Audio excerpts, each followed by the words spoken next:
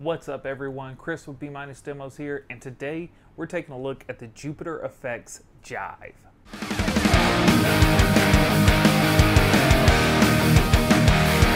Before we get into the jive, I just want to say thank you so much for coming to hang out with me today. If you're new here and you haven't subscribed to the channel, please do like the video, turn on the notifications, leave me some sort of comment below.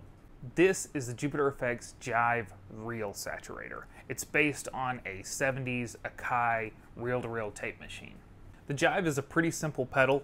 You've got volume and gain, and then you've got three different clipping toggles and because it can be run on 9 or 18 volts you get a lot of like touch responsiveness from it especially at that 18 volt setting um, and overall this pedal is just really really fun to play to me this gives off it makes me think of like dod 250s and different harmonic percolators that I've played over the years. Um, and I just think it's a really fun, kind of noisy drive, distortion, fuzz kind of thing.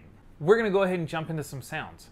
I did three clips. I used uh, the Nembrini Audio uh, dual reverb, which is their take on the Fender Twin Reverb, and I paired that with an Ownhammer uh, Orange 212 cab, mic'd with a 57.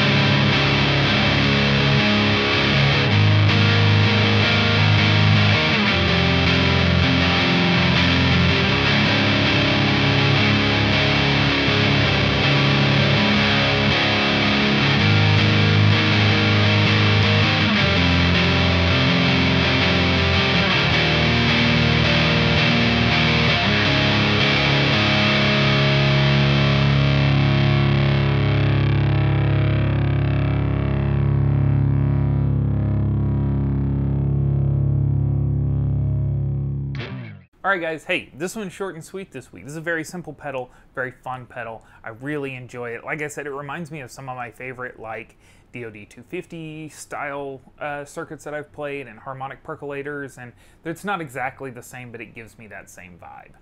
Also, the dual reverb from Nembrini is new to me.